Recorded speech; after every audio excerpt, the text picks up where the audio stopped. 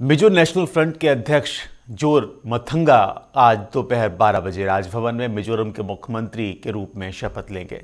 आपको बता दें कि मिजोरम के राज्यपाल के राजशेखरन ने बुधवार को ही आधिकारिक रूप से मिजो नेशनल फ्रंट को सरकार बनाने का न्योता भेजा था। एमएनएफ विधायक दल के सचिव लाल रुत्किमा ने ये जानकारी दी। हालाँकि उन्होंने मंत्री पद की शपथ लेने जा रहे विधायकों की संख्या पर कुछ नहीं कहा। राज्यपाल ने अगले मंगलवार को नई विधानसभा का सत्र बुलाने के लिए समन जारी किया है। ये सत्र उनतालीस नए विधायकों के शपथ लेने तक तीन और उससे ज़्यादा दिन तक जारी रह सकता है।